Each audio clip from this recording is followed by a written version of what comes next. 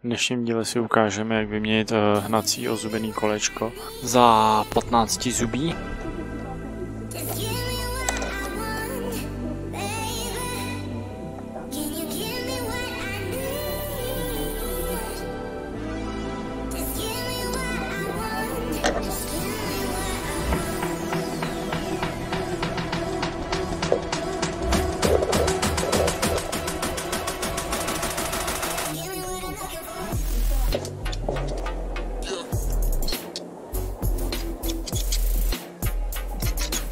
Vyndáme si pérovku.